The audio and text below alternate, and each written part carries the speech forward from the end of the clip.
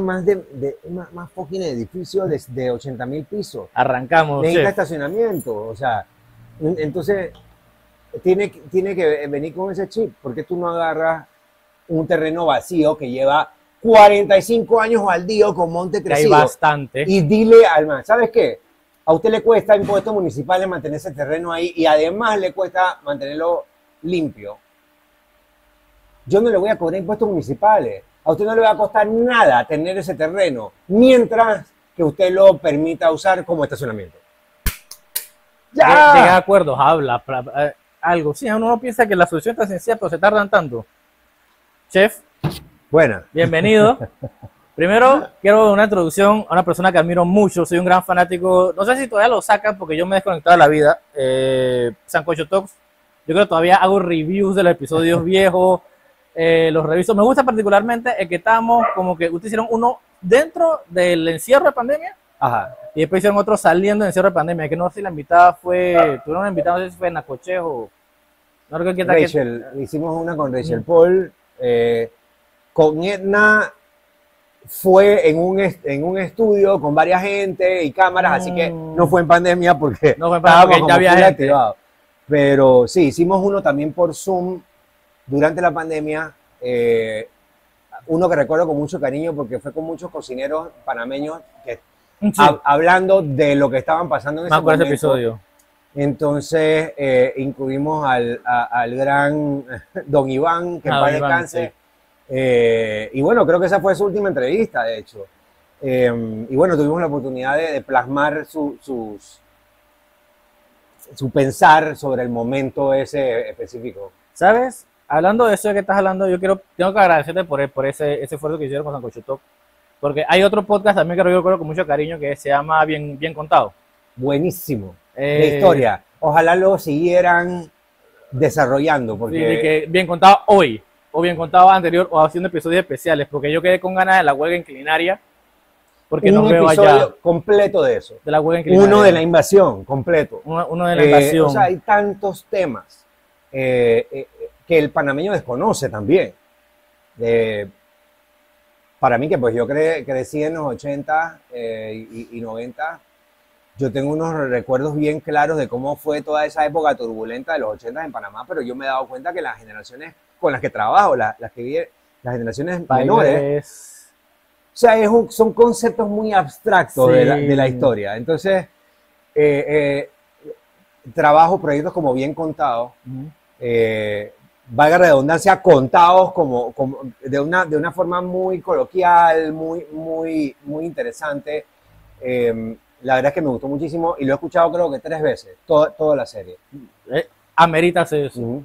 es, yo siento que, por ejemplo, en el, cuando, cuando estás en Sacocho Talk, si tú hablabas de un poquito de la historia, la comida, dónde venía la comida, también la experiencia con tus clientes, yo me quedé, oye, mira, porque yo estaba, estoy mal acostumbrado a las entrevistas de, de- de televisión que son cortitas, muy puntuales y donde el que entrevista ejerce un control enorme sobre el entrevistado Ujú.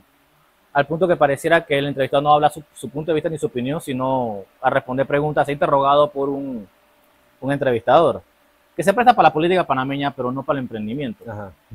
Entonces, ¿por qué? Porque he escuchado a colegas tuyos también, a, a Mario, a, ¿cómo es? Al, al- señor de, de Tomillo, ¿cómo se llama? Felipe, miren, a Felipe Milanés, los he escuchado en otro podcast cuando ellos están hablando de temas muy particulares, eh, régimen laboral, eh, retención de empleados, eh, filosofía de emprendimiento, en otros podcasts, y a veces me enojo porque el entrevistador corta al, al entrevistado cuando el entrevistado está sacando todo lo que es lo más valioso. Yo dije, no, pero yo El quería escuchar insight, pues, eso. ajá, exacto.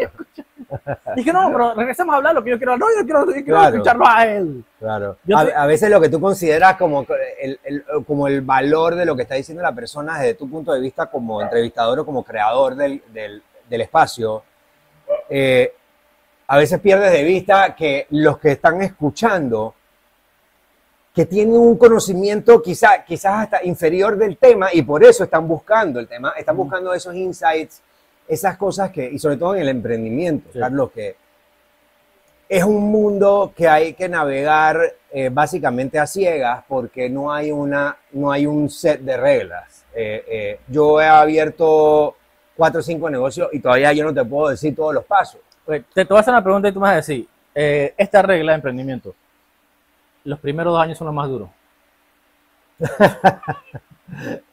Digamos que, ¿sabes qué? Sí, sí. Son los más duros también anímicamente porque son los años más llenos de incertidumbre. Claro que sí. Porque, porque primero tú tuviste que creer tú en ti mismo brutalmente para llegar al momento de tomar la decisión de decir yo voy a hacer esta vaina y no otra. ¿no? Entonces ya de por sí tú estás tomando un riesgo eh, o, decidiste tomar el riesgo. Entonces viene todo el periplo. Dónde consigo la plata, dónde abro mi negocio, si es de, de- de local, eh, eh, a quién me acerco para pedir ayuda, a, a quién busco para ser mi aliado, eh, qué herramientas necesito, dónde voy a averiguar sobre lo que necesito para abrir mi negocio, porque un restaurante necesita cosas diferentes a una tienda de ropa. Yo no tengo idea, Carlos, lo que tú tienes que, a dónde tú tienes que ir para abrir esto. O sea, ¿a quién tú vas y tú la... oh, bueno, yo hago arbono orgánico y tengo lombrices en mi, en mi establecimiento. ¿Qué tengo que hacer? O sea, yo no sé ni a dónde tú tendrías que ir para esto, ¿me entiendes? Yo asumo que tú tendrías que ir a, a mi ambiente para algo, eh, a mi, mi tradel porque tienes colaboradores, pero cada negocio es un mundo. Y en Panamá no existe una guía comprensiva de cómo emprender. Entonces tenemos instituciones que ayudan, eh, creo que como AMPIME, que ofrece cierto apoyo, eh, eh, la que se me escapa el nombre, que es de tecnología, eh, Senacid. Senacid, que de una u otra manera impulsan el desarrollo de algunos emprendimientos en, en distintas áreas, pero, pero yo creo que se nos olvida lo básico. La ofi- una oficina que diga Oficina Panameña de Emprendimiento, donde tú vas, man, y hay una persona que te dice, ah, señor, usted va a abrir tal y tal negocio, tiene que hacer todo esto, tiene estos requisitos, eh, tiene que ir a hacer esto, tiene que, ah, ya usted sacó el permiso de tal cosa, no, bueno, necesita esto. Porque a veces mucha gente se rinde en el intento, man, o se queda en la informalidad. Entonces, ¿qué pasa? Tú puedes hacer plata en la informalidad, o sea, eso ha existido toda la vida. Pero cuando tú buscas seguridad de vida, y cuando tú buscas darle seguridad de vida y estructura a tu familia, se complica el asunto. Porque tú ya quieres cotizar para el seguro social, porque de, repente tú no, y sobre todo comenzando, ¿ah? tú no tienes plata para, comprarte, para pagarte tu seguro. Quizás no es algo que quieras, pero si en algún momento lo quieres, ya tú tienes que haber tenido cierto eh, o sea, ingreso, cierta economía constante para tú poder decir, yo voy a invertir entonces en mi salud y, y tienes ese gasto. Pero al principio tú dependes de poderle proveer a toda, a, a toda tu familia esa estabilidad, esa estructura, esa seguridad, que la informalidad te lo hace bien difícil. Entonces lo que tú haces poniéndosela difícil a la gente es creando más situaciones de economía informal Más de economía informal. buonería, que ojo, no estoy diciendo que tiene nada de malo, sino que tienen, tiene una realidad. Y la realidad es que no es un camino seguro si lo que tú quieres es una planificación de vida y familia. ¿Me explico? Ok, tengo una premisa que se me acaba de ocurrir en la cabeza y me deja tirar tu línea. Mi mente trabaja de forma extraña, así que vas a ver, date cuenta de eso. Es difícil, eh, la razón por la cual nos mantenemos en la, la- a los medios de comunicación nos, gusta decir los informales, es porque ir a hacer, ir a inscribirte en el seguro social es un, es un supositorio con siracha. Y no, no me da la gana. Entonces yo no tengo ningún incentivo a formalizarme. Te voy a tirar también la parábola del panadero para que me des tu opinión. Pero tomemos en consideración el caso del reciente pasiero nosotros, señor Pineda, amigo de todos los panameños. El hijo, ¿cuántas empresas formales tenía? Haciendo trabajos con el gobierno. O sea, inclusive la informalidad, hacer, la, hacer la formalidad tan difícil incentiva y crea un espacio para el narcopolítico. Tú dirías que es lo difícil, dices tú. O sea, dificultar a la mayoría de los, o sea, hacer complicado crear empresas formales, porque tú para con el gobierno tienes que tener una empresa formal, tú no puedes ser informal, no te evita que no va. Pero para también lo que hemos visto, un esquema en el cual usan el, el Estado para lavar dinero, Tal vez esto es adrede, tal vez es adrede que lo mantienen informal para que solamente las empresas que están amarradas a la narcopolítica puedan cotizar. Digo, no sé, honestamente no, no, no tengo conocimiento de causa para decirte si eso es así, pero lo que sí te puedo decir es que no hay ningún interés ni ningún eh, incentivo o, o, o ímpetu de crear mecanismos para que el panameño pueda emprender de forma fácil. Y eso es evidente, o sea, eso yo no lo tengo que investigar, ni, ni, tengo que buscar las pruebas, o sea, eso se hace evidente. Entonces ahí podemos empezar a ver qué, qué, qué son las consecuencias de eso. Una consecuencia. Y ahí está una de las consecuencias. Es una consecuencia. Totalmente. Ah, no está diseñado para, pero es una consecuencia. Es una Por supuesto, si yo le hago al país entero una, algo súper complicado de poder tener tu propio negocio, de poder hacerte tú, de crecer tú mismo, entonces tú vas a buscar dependencia en, en otra cosa, en un puesto político, en, eh, o sea, entiéndase, botellas, pues. Eh, o si, porque, ojo, la formalidad no es un proxy de la moralidad. ¿Ok? Si tú eres una persona que por necesidad tú te has tenido que ver la vía informal, eso no significa que tú vas a hacer el mal o que tú vas a buscar lo fácil. ¿Me entiendes? Porque la moralidad es una cosa y el trabajo, la ganas de trabajar es otra. Eh, eh, el trabajo, la ganas de trabajar es sí. otra. Eh, déjame poner el tema de la moralidad. Quería sacar esto más adelante, pero vamos a hablar aquí mismo. Me acuerdo en un, grupo de WhatsApp que me tuve que salir porque dije, vamos a discutir qué es lo legal. Había algunos de ellos que eran funcionarios del gobierno.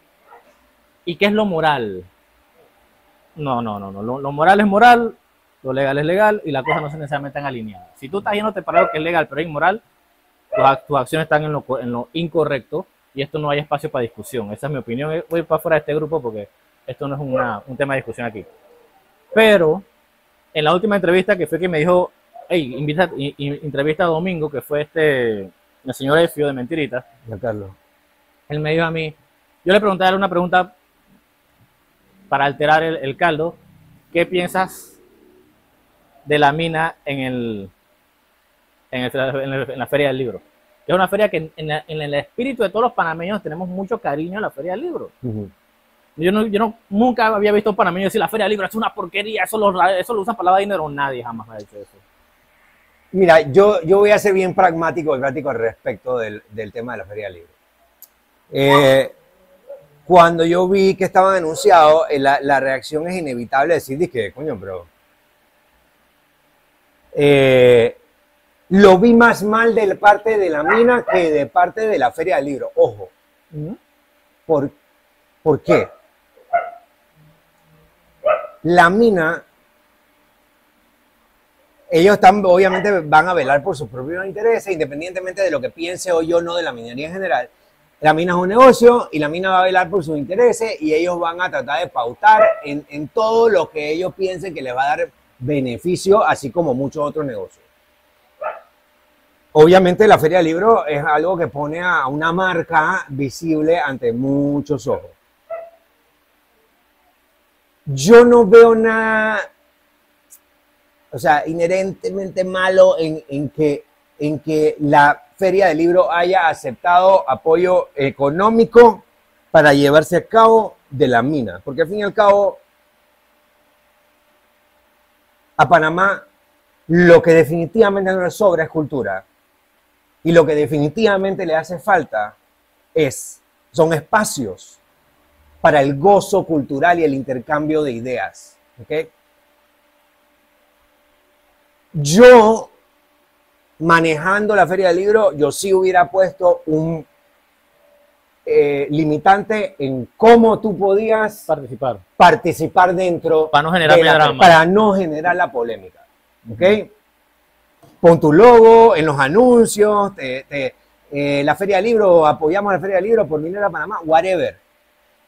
Ya cuando tú te pones un stand de cosas adentro, donde evidentemente lo que tú quieres es cambiar la opinión pública en base a situaciones que se dieron en el país, eh, eh, independientemente de lo que yo personalmente, Domingo Dalía, piense o no al respecto de la minería, yo siento que eso estuvo un poco de más. Ok. Pero el que, el, el- el que ellos hayan recibido fondos como tema publicitario de parte de la mina, yo no lo veo inherentemente mal, porque por lo, por lo que ya te dije. O sea, aquí en Panamá nadie da plata a la cultura. La cultura tiene que rogar en este país. Y te lo digo yo, que me llegan todas las semanas eh, eh, obras de teatro pidiéndome dinero, eh, la, la escuela de no sé a dónde va a poner su acto social, el día del, del- de- de- del día familiar, eh, la comunidad de no sé qué en Brisa, que quieren ellos hacer una, una eh, ¿cómo se llama? Una, una- un desfile. O sea, el Estado no ha invertido históricamente en este país en la cultura. Entonces, si yo quiero hacer una feria cultural y no tengo plata, Hay que buscar el dinero. a pesar, además, de que de dónde vino parte de esa plata, También viene de, de los recursos naturales que ya sacaste de mi país. Entonces, devuélvemelo, pues.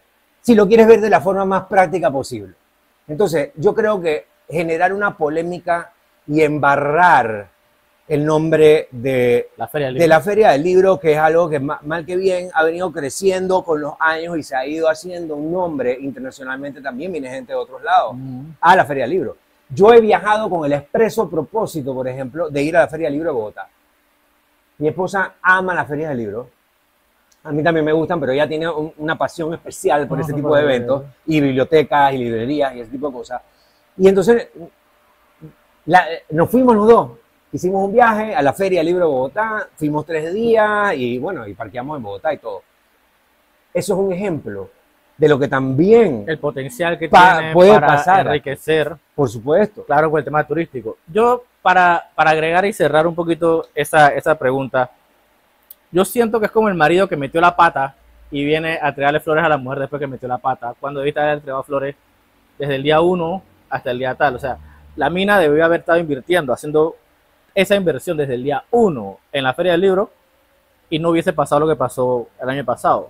Claro, y, y digo, eh, lo que pasa es que hubieron, No, Yo no me voy a poner- pasado, porque yo creo que el problema del año pasado fue más con, contra el gobierno y su forma de hacer las cosas. no, sí, eh, específicamente también. específicamente con lo de la Feria del Libro, es lo que, lo que te, lo que te puedo decir es que yo entiendo que la gente se haya ensañado con la mina y seguirle dando palos si quieres y acúsalos de greenwashing, todo lo que tú quieras. Pero siento que eh, no es productivo eh, eh, empezar a darle palo a la Feria del Libro eh, por haber aceptado esa donación cuando la Feria del Libro era mucho más que ese Que- espacio que- ese pequeño evento. que le dieron a la, a la mina allá adentro. Entonces, man, es como el tema de las Olimpiadas y la, y, y la- y la man, la bailarina de Australia. De hecho, no cuándo, no, no. Ok. la, la bailarina de Australia de breakdancing. Ajá, sí, sí. Ok. Ya ¿Tú usted sabes el nombre de cualquier otro participante de breakdancing en las Olimpiadas? No. ¿Quién ganó? Nadie sabe. ¿Quién ganó? porque se están fijando solamente en una cosa, en el punto negativo, en lo que hay que criticar. Ok, entonces a mí me dolió mucho por los autores, de los quienes nadie estaba hablando, porque estaba todo el mundo hablando de Minera Panamá. Mientras que habían autores nuevos con su primer libro, tratando de hablarle a un público mínimo de ya de por sí, Ya. O sea, que Eh, necesita eh, mucha ayuda. Entonces tienen que gritar por encima de la bulla de cosas que están en detracción al, al- al arte, a la cultura. Y entonces estamos, seguimos hablando de lo mismo, estamos dándole un giro negativo. En vez de no hablen ni de la mina y dejan eso manejar ya. Pero lo que hicimos fue darle propaganda a la mina encima cuatro días más. Sí, porque no hay tal cosa como publicidad negativa, vamos a decirlo así. Y menos para una minera. Eh, quiero regresar a esto más adelante para, para que veas mi, mi- mi- mi- mis temas de locura. Eh, ¿Cómo se llama eso? Eh, ah, ya me olvidé el nombre. Pero tocaste un punto que no quiero dejar que se pase porque lo hablamos con Giancarlos, que tuvo que ser, eh, él me explicaba el tema de, él, él creció, Él- lo que me gustó del episodio de él cuando él habla en otros podcasts, es que él habla muy de su, de su trayectoria, cómo él creció de ser el man que llegaba a la cafetería a, a mirar a la gente mal mientras le hacían café, a ser la persona que miraban mal mientras hacía el café. Ajá. Entonces, y él habló de lo que tú me o sea, esa crítica que parece que es, es una crítica por el arte de criticar. Y es algo que, por ejemplo, yo consumo y genero bastante TikTok. Y algo que yo disfruto de la comunidad de TikTok, no la nacional, los panameños en TikTok no sirven. Eh, la comunidad internacional de TikTok se va a los comentarios a decir algo divertido, a decir algo ingenioso, a decir algo como... Pero en lo que yo he visto, que son panameños publicando en TikTok, generalmente es, por ejemplo, el día que posteé, no, que me picó un alacrán y lo demás, sale un muchacho y que a los hombres no nos matan los alacranes. Yo y que, ay señor, por Dios. En realidad, pero es que no entiendo, se, se, se pierde. Y otro sale y dice que lo que tú estás publicando es una falacia, no hay alacranes donde yo vivo. Y de dónde tú vives, papi. Entonces, yo siento que tal vez nos estamos yendo como nación, o, estamos, o- es, una parte de madurez, ir madurando, pasar por esa fase de el crítico constante. Me acuerdo de tu episodio del Sancocho, que la gente llegaba y que esto tiene un ingrediente de más. Esto ya no es un sancocho de acuerdo a la, a la- a la tradición oral de mi pueblo. Eh, ¿Tú sientes que eso es una fase? ¿O es que hay gente que se, que se atrinchera en esa colina y dice, esta es la tradición, yo no voy para adelante ni para atrás, así me enseñaron, el mundo es así? Esa pregunta sería bueno que se le hicieras a Isaac y a ver de un día de esto. Ajo. Apúntalo ahí. Esa pregunta. Él es de él, tapa el coco. Sí. Sí. Sí, porque este tema en Sancocho Talks era muy recurrente. Eh, a los dos nos han acusado de romper la tradición o de no hacer las cosas bien por, ese tema. A él más que a mí, porque yo trato de utilizar eh, el salirme de la tradición un poco en, el aspecto de, de la comida panameña, solo para buscar una avenida a veces un poco divertida y, y- y- y un poco más engaging con, con quizás los que no son panameños para atraerte a que, a que lo, a que lo pruebes, ¿no? Eh, no todo el mundo en su vida se ha comido una ropa vieja o un mondongo, pero la mayoría de personas en el planeta entienden lo que es una croqueta, ¿verdad? Ok. Ok. Entonces yo dije un día en mi restaurante, yo voy a hacer una croqueta que sepa a Panamá.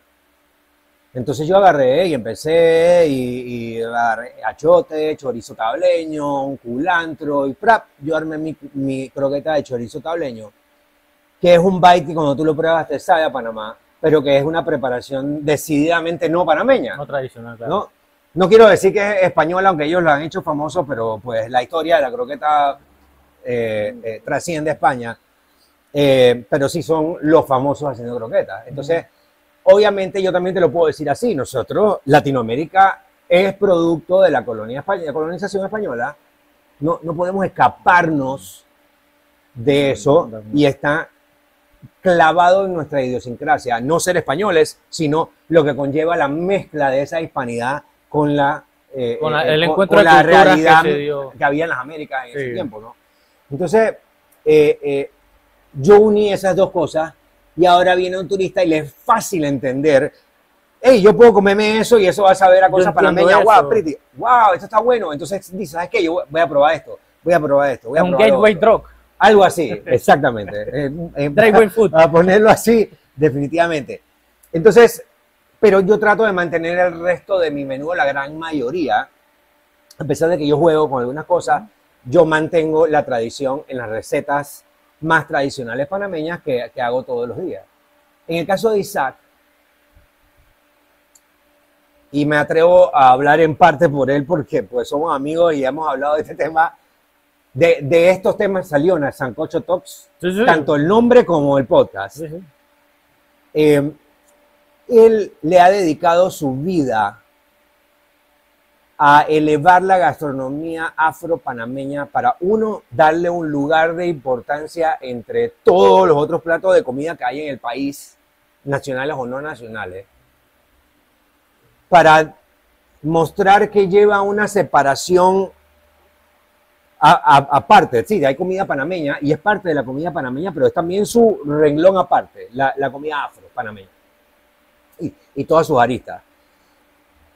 Pero él sentía que para llevarla al mundo también tenía que darle la modernidad que las técnicas modernas de gastronomía Claro. le, le- le- le aportan para él poder darle esa voz de mundo a su gastronomía afro-panameña. Permíteme interrumpirte aquí para que me, me- me incluyas algo ahí, porque también la tecnología ha cambiado desde entonces. O sea, tiene también eso algo que influir, por ejemplo, Por nuevas supuesto. herramientas de cocción Por supuesto. que te permiten hacer preparaciones de forma diferente. Y ahí Isaac me lleva, por ejemplo, a- eh, eh, eh, me lleva a una delantera, porque yo, yo, yo he utilizado la tecnología para poder ayudarme a hacer mi trabajo más, eh, de, de más alcance, ¿no? Temas de volumen.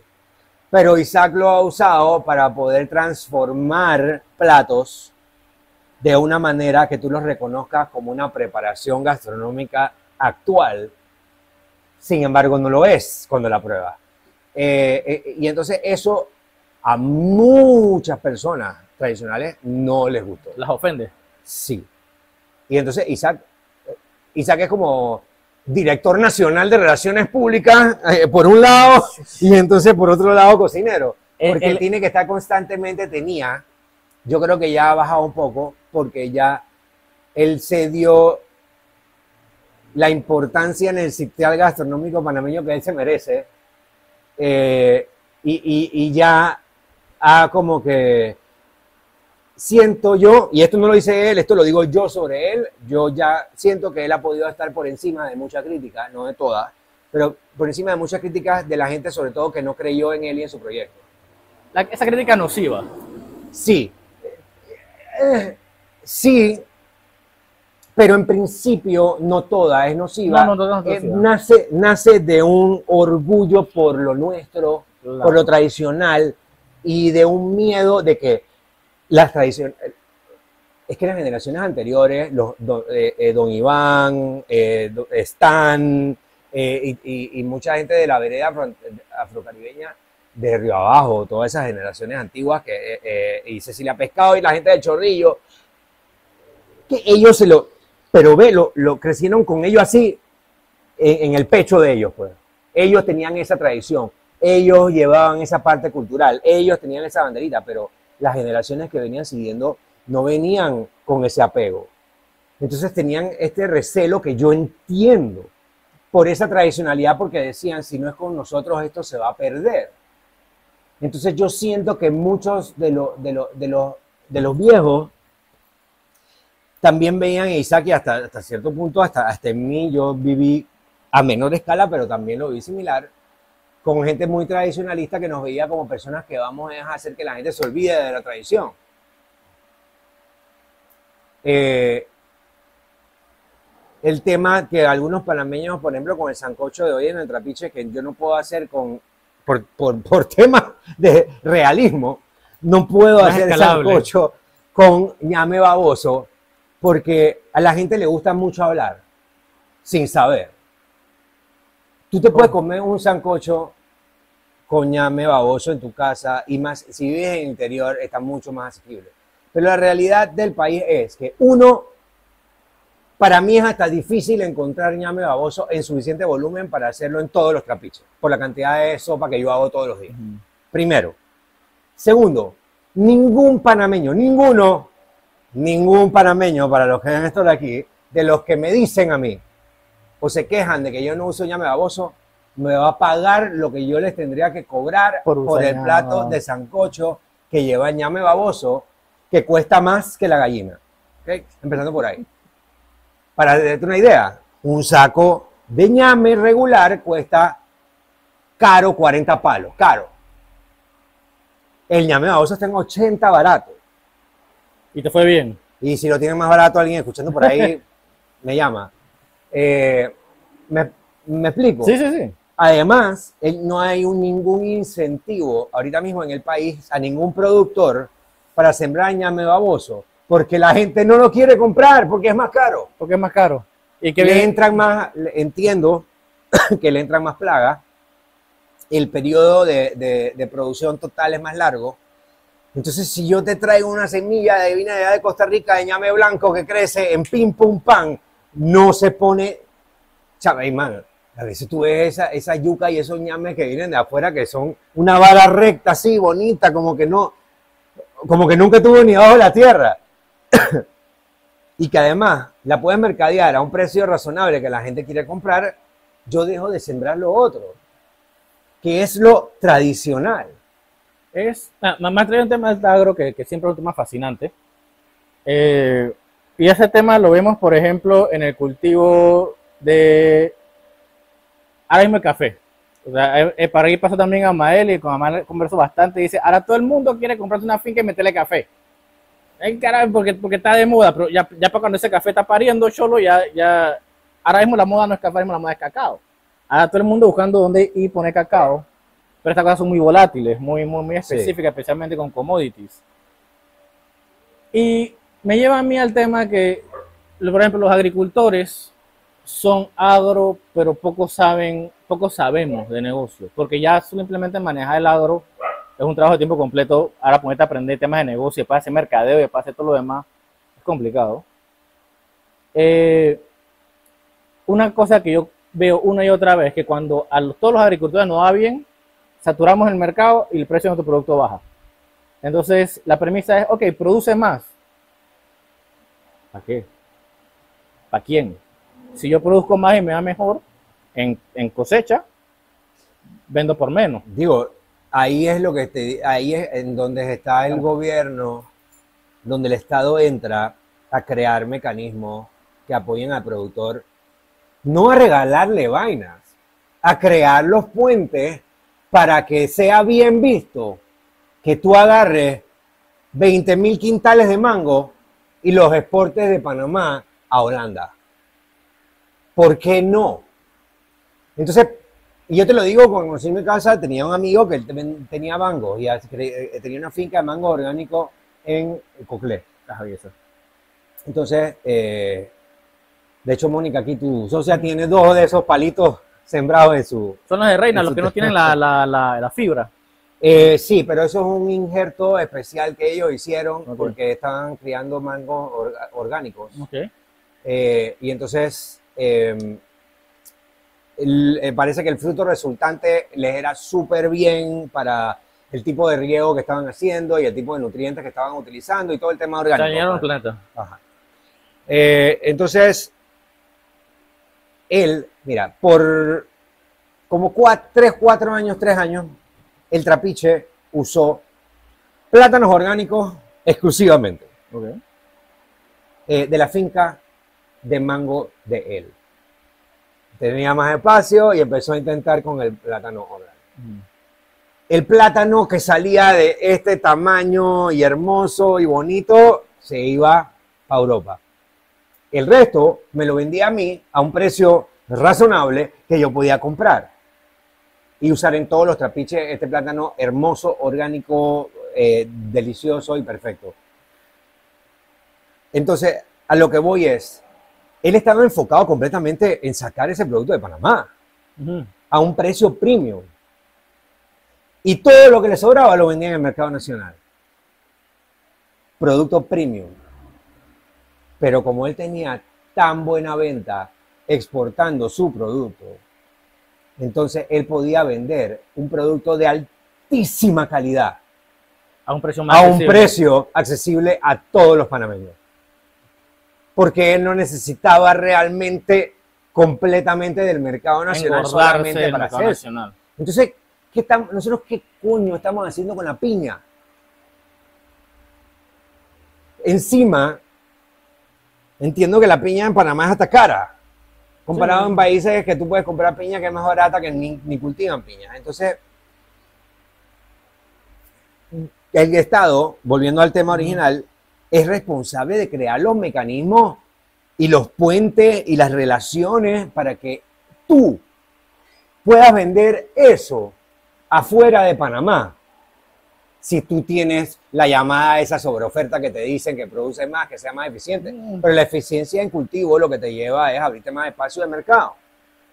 Pero si a ti nadie te ayuda como país a salir del país, entonces te están haciendo un daño y te están maquillando la falta de apoyo de ellos al darte incentivo, eh, ¿cómo se llama? Subsidio aquí, subsidio allá. Eh, ya que estamos hablando de subsidio y producción agrícola, ¿cuál es tu sentir con respecto al, debería ser un escándalo, pero no lo es, el tema de los subsidios a los arroceros?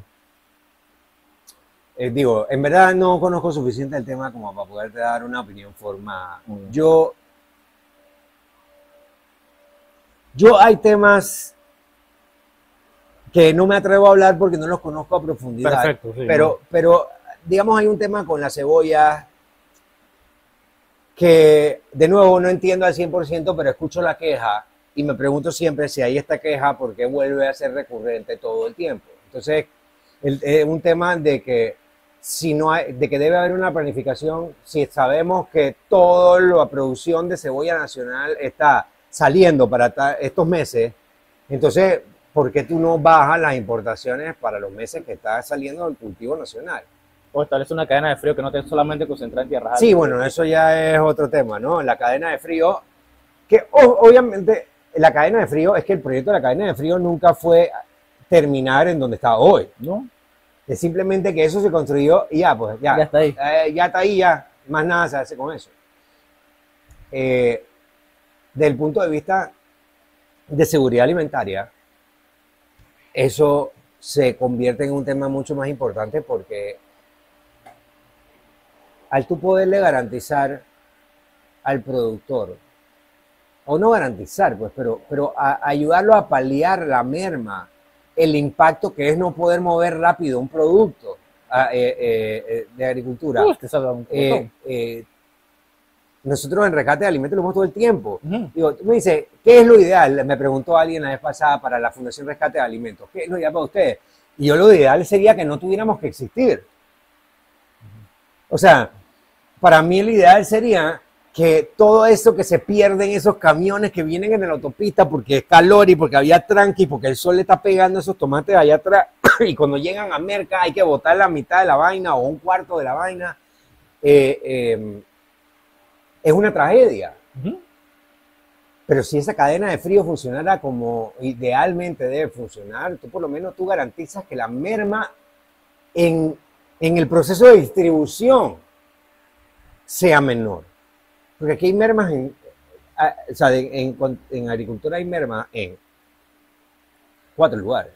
Hay merma en campo, porque nunca al final cosechas o cultivas o logras sacar todo el 100% No, no de la no producción, sobre todo si es artesanal. La segunda merma está en la distribución de Ah, productos. La saco del campo, la transporto, la llevo.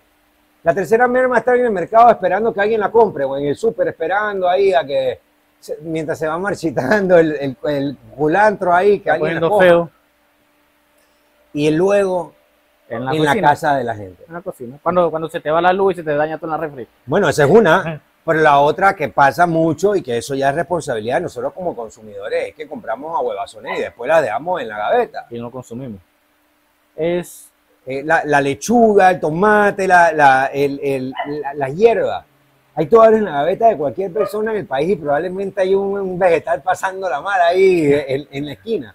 eh, Entonces tenemos también que tomar conciencia. Eso me recuerda el- el- la mantra que nos enseñaron a nosotros cuando estábamos, no sé si a ti te tocó, me imagino que sí. No hay comida para tanta gente. Y eso es algo que, mucha, que, que todavía yo escucho como ambientalista me molesta muchísimo. Que la gente me diga que no hay comida para tanta gente cuando que tenemos un sistema que socialmente no es responsable y hay un desperdicio enorme de comida. O sea, tú, no, tú, no- tú no me puedes decir a mí que hay que aumentar el hectareaje de áreas cultivables cuando tenemos un poquitón de comida botándose. Ok. Decir, decir que no hay comida suficiente para la gente, o se están equivocando en lo que quieren decir, o están simplemente equivocados. O sea, yo diría que la mejor forma de decirlo es que la comida no siempre es accesible para todo el mundo. No tenemos nada accesible, es un tema de justicia social. Ajá. Pero de que, el, de que el planeta produce más que suficiente comida para alimentar a cada persona que hay en el planeta, eso no hay duda. Y lo sabemos porque todos los días botamos cantidad suficiente de comida para alimentar al planeta. Ok, quiero, quiero tocar un tema ahí antes que se me vaya la cabeza. La canasta vacía, porque hablo mucho. Tengo un club de huerteros aquí, club de huerteros. Y les estamos entrando en el tema gastronómico, porque ya llegamos al punto que, ok, estos cultivos son nuevos, pero ¿qué pasa? El jengibre no está en ninguna receta casera. El jengibre, mm, el ajo está en todo, tú le echas aceite, ajo, pero yo digo, oye, vamos a sembrar jengibre. Y la gente que, tocado con eso. Entonces estamos metiendo un poquito por el tema gastro. Y la pregunta que me sale constantemente es, la canasta básica, ¿cuánto, Ari, ¿cuántos productos frescos hay en la canasta básica? Ay, yo no tengo idea cuánto, cómo está dividida la canasta básica, honestamente. Yo, yo sí vi listado de canasta básica algunos productos que fueron puestos ahí porque sí. O sea, yo no, no veo cómo salchicha puede ser parte de la canasta básica de alguien. eh, eh, y si no me equivoco, está en la lista de la canasta básica. Sardinas, salchicha, casi todos enlatados. Eh, O procesado de alguna manera. yo entiendo el pensar quizás práctico detrás de poner estos productos enlatados así, El- viven. Pero yo siento, o sea, yo siento que tú debes de identificar es el producto que debe comer la persona para nutrirse. Entonces luego tú haces una aclaración. Ok. En el mercado hay estas posibilidades de, para, el- para, para llenar el, el equivalente necesario a la cantidad de pescado que dice la tabla de nutrición que tú debes comer, puedes ok, encontrarlo en sardinas y entonces las sardinas deben de tener este Ah, precio. qué interesante. Eso es una, Pues- es una aproximación que va desde, desde el lado nutricional. Y digo, bueno, tú necesitas omega 3. Entonces, bueno, omega 3 lo vas a encontrar a través del pez enlatado. O sea, pero es que yo lo veo así. De otra manera, ¿para qué sirve la canasta básica? Para decirte, yo te- tengo que llenarme de esta vaina. No, Tengo que eso- llenarte de esa vaina. la canasta básica tiene que ser sobre cómo tú estás nutriendo a la persona. Porque la nutrición es lo que te hace a, a ti ser una persona útil, una persona que se va a desarrollar, a ser productiva, a tener salud.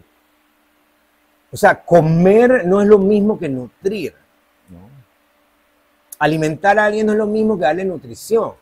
Entonces, por eso también en Fundación Rescate de Alimentos, cuando nosotros preparamos la, la comida, nosotros no hacemos cualquier vaina. No, no, yo he visto la receta también, pero Eh, eh, tratamos de que por lo menos tenga, eh, ten- tenga un nivel de nutrición suficiente para darte sustento, para, para, para enriquecerte. Entonces, la canasta básica en teoría debe cumplir la misma función. Y por eso te digo, si tú no tienes acceso a comerte un pescado fresco, entonces pues compra la lata de sardina. si no tienes acceso a un pescado fresco. Pero, pero creo que el mensaje que estamos mandando cuando publicamos esta lista de, de productos de la canasta básica sin mayor explicación es que esa es mi opción, pues. Pero entonces es como la carne, que hay diferentes tipos de carne. La, la creo que la babilla está ahí, eh, eh, la, el- una de las pulpas está ahí.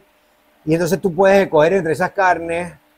Asimismo, tú puedes ponerle opciones de qué pescado fresco. Tú, ah, bueno, pues incluyamos la tilapia, pues, que es un pescado económico y que está, eh, se, cre- eh, se está cultivando en el país, etcétera, etcétera. Es más, o sea, tú puedes atatar productos de la canasta básica con proyectos de, de corte social que además beneficien a acuicultores. O sea, Ahí, ahí te tengo una propuesta, pero quiero centrar un poquito. Quiero aprovechar que te tengo aquí para. Tienes tanta experiencia en tantas cosas diferentes. Quiero primero tocar una que estabas hablando en antes fuera de cámara con Mónica, que es la idoneidad del funcionario. Eh, la idoneidad del funcionario es algo que yo vengo hablando mucho de hace rato. Es que yo siento que la gente, aunque sea muy idónea para el puesto en, en currículum, llega al puesto y, y como que va al, al ritmo del baile de lo que diga el director, que a su vez es lo que diga el presidente, y así va la pirámide. Y si el presidente no dice nada, de de ahí para abajo todo, todo se degrada. Y he sentido que la gente me dice, por ejemplo, eh, yo tengo mis, mis opiniones sobre el actual director de Ampime, ni buenas ni malas, simplemente él es una persona. Pero yo, hablando con otros emprendedores, él me dicen, Carlos, pero él acaba de llegar al puesto, él, él, él tiene que hacer las cosas, él tiene que ajustarse a como es y después eh, empezar a, a- a- a actuar. Y yo por otro lado pienso, oye, pero si fuera así, los pelados de Vamos y compañía y Serena y estarían también ajustándose. Ellos hubiesen llegado a la Junta Comunal a decir, hola, ¿cómo son las cosas aquí? Eh, ok, va, no, y la gente llegó y dije, no, está. Pero no quiero ser injusto, pero también sí me gustaría darle a César lo que es de César.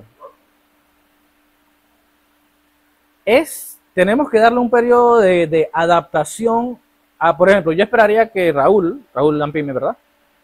No, no, la verdad no sé. Él, no sé quién está Pyme. eh, él es Raúl Fernández, él fue diputado y él tiró la Ah, ley de, de- ok, de- la ley de Conozco a Raúl, sí. sí. No sabía que estaba en Pyme, la- honestamente. Él, Sí. él él pasó la ley de, de- de emprendimiento. Tú dirías que él es el tipo de funcionario que va a llegar, que bueno, que es idóneo más o menos, porque el tema es que no hay una idoneidad para emprendedor. Eh, pero él diría, tú vas allá con una agenda. Es como, pero si tú pones a Carlitos Vargas en Ampime, él lo primero que va a hacer es renunciar. Después de renunciar, va a decirte que necesitamos una ventanilla única y que hay que poner país patas para arriba por ventanilla única. Por ejemplo, usted está usando un ejemplo de mi ambiente. Mi ambiente ahora mismo tiene más choferes y secretarias que guardaparques. Cuando en mi mente, mi ambiente debería ser un ejército de guardaparques con títulos científicos, recabando datos en campo y buenos salarios. Ujú. Porque no necesitamos más secretarias en mi ambiente, ni tampoco necesitamos más choferes en mi ambiente. Sí. Entonces, en- No voy, a, no voy a profundizar mucho en ese tema, pero te, te voy a decir lo siguiente con respecto a lo de mi ambiente, ¿no? Que, que, que estoy muy esperanzado a, lo que pueda venir con mi ambiente a- a- ahora, te, Claro te soy sí. honesto. El tema puntual de lo que tú acabas de mencionar, eso es completamente eh, al- algo una sinergia entre el ministro y la persona que vaya a ser, que no sé quién es, pero asumo que ya está nombrada, director de áreas protegidas. ok, ¿Por qué?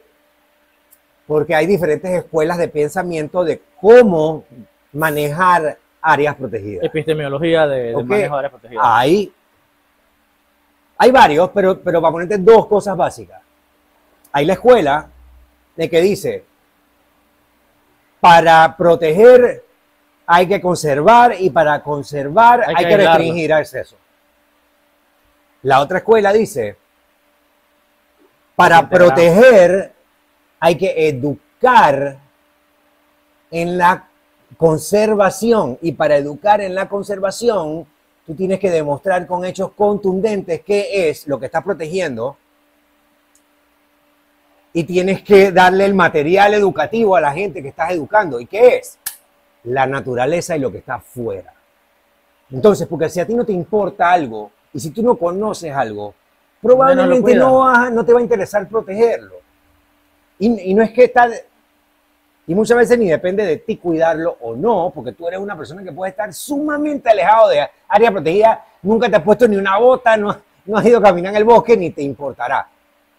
Pero a la gente que se le paga para que le importe, es la que tiene que estar pensando cómo vamos a cuidar o digamos cómo vamos a eh, eh, estructurar nuestro legado natural para la futura generación, ¿no? Entonces, esa parte te la voy a dejar hasta ahí, pero, pero El- tú, puedes ser idóneo para volver a tu punto de la idoneidad del puesto, pero tú tienes que venir dispuesto a trabajar y aplicar lo que tú conoces en tu idoneidad. Si tú en tu idoneidad, aunque seas idóneo, tú vas a llegar a sentarte en un puesto y hacer lo que te mandan a hacer, de nada sirve que tú sepas ¿Qué estás trayendo al puesto? ¿Qué estás aportando? si tú eres un ingeniero municipal y tú sabes que un puente se construye con esta viga, yo no sé nada de construcción, No, con esta viga y que si tú no le pones la viga, eh, el, el peso constante de no sé cuántas toneladas que le pasan todos los días por ahí va a romper la vaina, tú puedes saber eso porque tú eres idóneo. Pero si alguien te está diciendo que dejes esa vaina así y tú lo dejas así, de nada sirve tu idoneidad.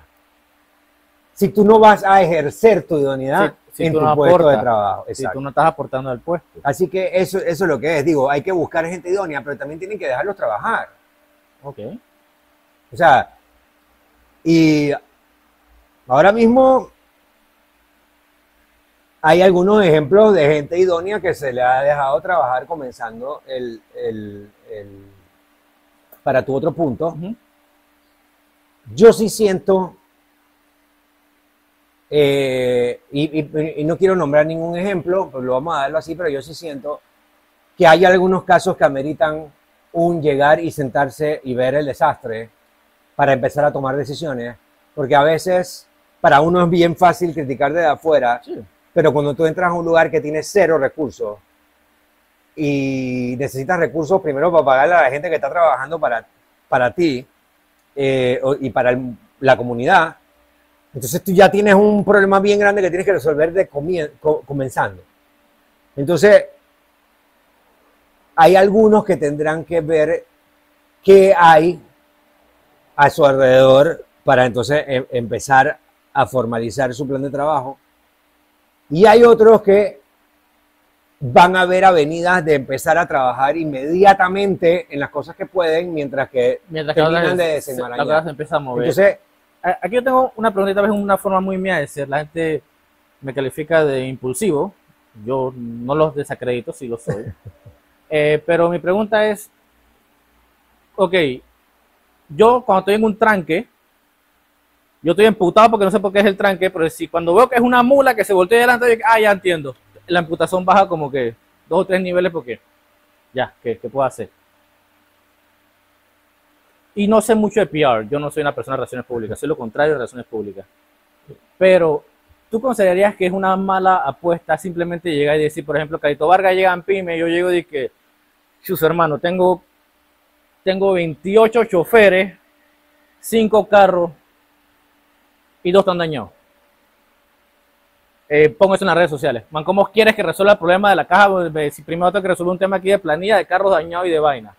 Entonces tú espera que yo termine con eso y después me voy contigo. O sea, ser honestos y claros en decir, este es el verguero con el que, aquí puede decir para la sucia, este es el verguero con el que estoy lidiando ahora mismo, dame chance, déjame llegar a tu parada. ¿Es eso suicidio político en tu opinión? ¿O tú crees que te ayudaría a sentir, ok, por eso es que te mata retrasado? es que yo no, a, a ver, a veces no es un tema de retraso, de nada, sino que obviamente tú quieres, tú quieres ver a la gente trabajando. ¡Muévete! Pero puede ser que no sea un retraso del todo, o sea, hay cosas que llevan su proceso, o sea, eh,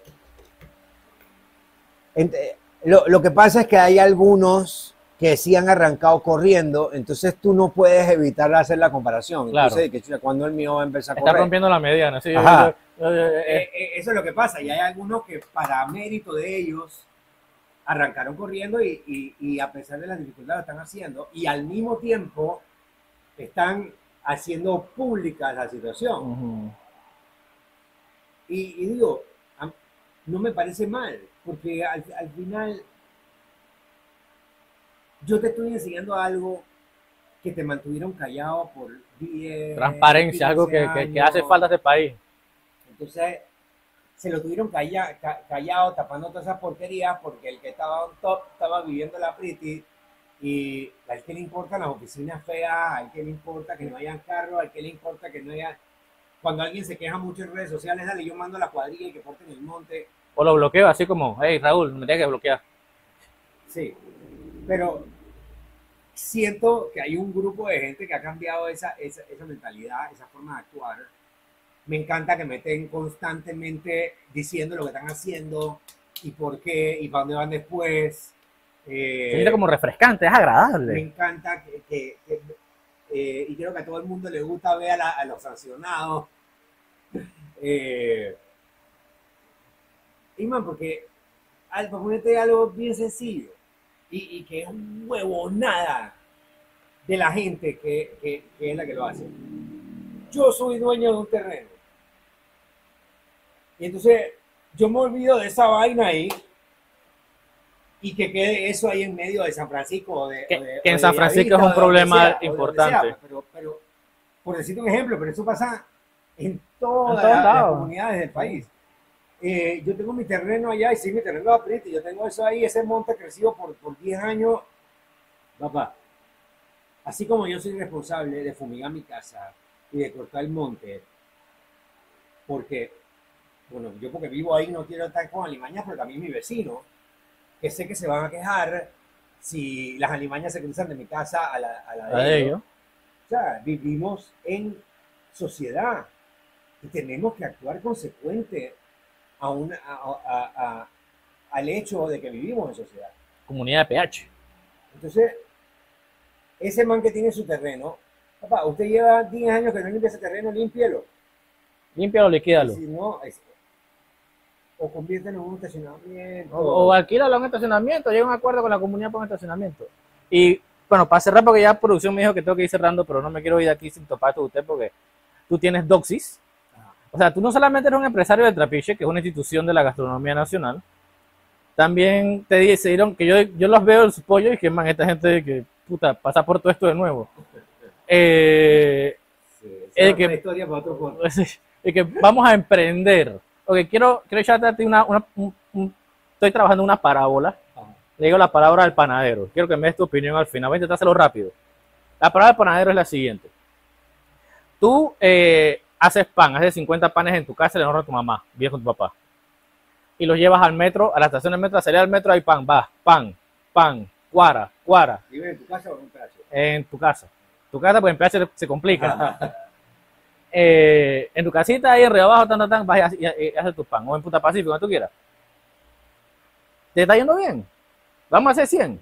Entonces, esa de 100, tu mamá te empieza a mirar mal, y que, hey, la cuenta de gas, hey, el- me estás dañando el horno, hey, to- tú estás dándole dan, dan, dan, hasta que tu mamá se cansó, señor, vaya para afuera.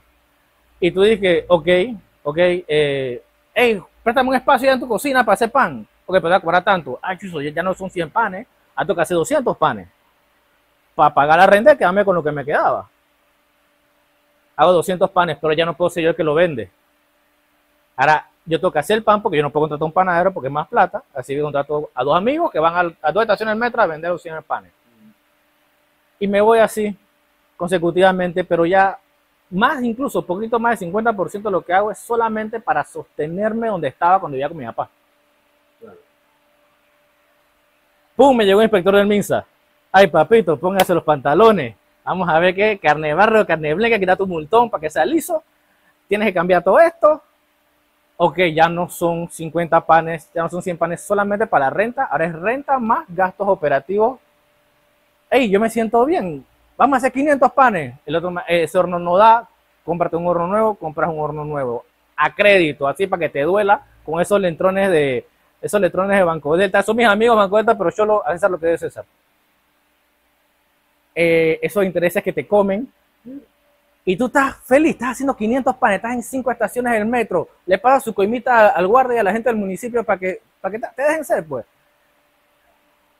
Pan, un día llegan tus pelados y que con 50 a 120 panes de vuelta. Tú dices, hey, ¿qué sopa? ¿Qué está pasando? Ah, Carlos, mira, es que hay otra gente vendiendo pan, haciéndolo de su casa, despiratando. Y entonces tú te diste cuenta, el panadero se dio cuenta, aquí ahí se- cierra la, la, la, la- del panadero. Y aquí la, la historia que quiero dar a entender es que, ¿para qué crecer si al final, cuando creces, el, el, el hecho de la formalización, de hecho es un desincentivo a la formalización, porque llegas a un punto de lo que llamo un punto de no retorno, donde gran parte de tu trabajo es solamente para sostener la operación, no para generar prosperidad ni tener una calidad de vida eh, decente, aunque yo no sé si ser panadero es una buena calidad de vida, eh, por la madrugadera. El, el tema aquí es ese desincentivo al, al crecimiento es lo que yo siento que mantiene a Panamá en un creo que 70% de informalidad, una, una locura así enorme. Eh, ¿Tú sientes que esta parábola es reflejo de la sociedad panameña? Ah, by the way, yo todo lo que hice fue cambiar pan por fertilizante, pero es una anécdota muy personal, porque nadie se entiende con fertilizante.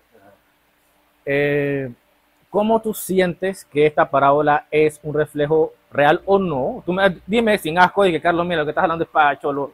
Eso, eso no es así. ¿Cómo tú lo sientes? Lo que pasa es que yo, yo siento que la gente, por ver las cosas como la parábola, se quedan en la parábola. Okay. La diferencia está que es muy válido. Lo que pasa es que todo está en el detalle. Okay. Cuando él estaba haciendo el pan en su casa, o sea, yo estaba prestando atención y haciéndome preguntas cuando tú me estabas contando todo, ¿no? Desde el punto de vista de un negocio. ¿Él qué estaba haciendo con la plata cuando estaba viviendo con su mamá y estaba vendiendo 50 palos? ¿Qué estaba haciendo con la plata? Sí, esa parte está abierta, eso no, eso no está. Ah. Si lo que tú estás haciendo al principio, ojo, este cuento, que como lo voy a terminar, se lo he hecho a mucha gente, Ujú. eh, porque es el capiche de mi experiencia abriendo mi primer restaurante propio. Eh, esa persona debió haber estado pensando todo ese tiempo en yo no quiero seguir haciendo pan siempre en la casa y en el horno de mi mamá. Eventualmente yo quiero hacer más pan y voy a necesitar otro horno, otro equipo. ¿Ok? O de repente hablo con la vieja y le digo, mamá, voy a comprar otro horno, lo voy a poner allá atrás y vamos a hacer platita, yo voy a pagar la cuenta de gas. Asume responsabilidades. Ahí empezando. Entonces ahí la- te compras más tiempo con la vieja y sigues recogiendo plata, no Ese ahorro. alfuaz, Ujú. para ir desarrollando tu negocio, Una planificación y una visión. tu visión de negocio. Ujú. ¿ok? Entonces, a medida que tú vas tomando estas decisiones, tú las tomas con un propósito. No es Hace el plata de, por hacer plata. Hago esta plata, chuchi, ya tengo los 70 palos, voy a comprarme la camisa del Inter Miami. o sea, te ríes, pero Es la, re- es, es la real de la vida. en mi restaurante con los muchachos por muchos años. Voy, trabajo la quincena, renuncio, me compro la camisa del Barça y para adelante. Un Con mi liquidación. muy ya tengo la particular. Barça. Ya, eso era toda mi Esa- ambición esa en la vida. Después vuelvo y consigo otro trabajo y trabajo 15 días de aseador en otro restaurante y entonces me compro de que el, Oh, eso, es un, pegado. eso es un nómada laboral. Pero es que así hay miles de panameños, jóvenes, que hacen esa estupidez. ¿Y tú crees que O eso es cultural o, o es un tema que el sistema educativo les ha Las dos fallado? cosas, seguramente hay, hay un poco de dos, o sea, yo no puedo decir que todo que, que es cultural, porque yo también soy panameño. Y no, y no, y, y no es mi Panameño, cultura. panameño. O sea, Mm. y, y- y yo no tengo ese chip. Para mí, si yo quiero algo, yo tengo que ir a buscar.